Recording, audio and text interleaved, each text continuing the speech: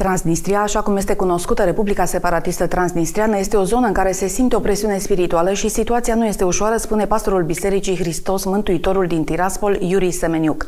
Mai mult, războiul din Ucraina este foarte aproape, la doar 2 km de biserică și creștinii de aici resimt efectele.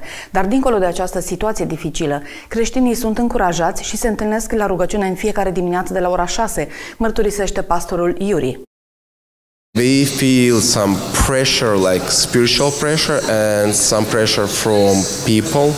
And situation is not easy because war in Ukraine have also big effect to us. From uh, my church property to Ukrainian border, only two kilometers, and of course we feel it.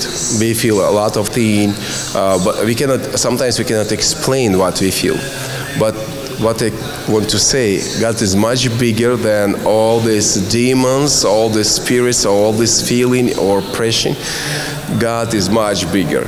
So, and it's strange, but in the church we have really good time now because uh, we feel like Holy Spirit touch people in the church, and we start morning prayer each morning.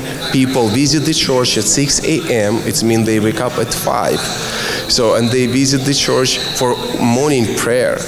And it's they do it each day and in the beginning uh, when people start to pray they feel a fear because of war. But now if you will visit the church you will be surprised because all these people they're full of joy. And that is not just human joy. That is uh, joy from heaven. Yeah that is from holy spirit.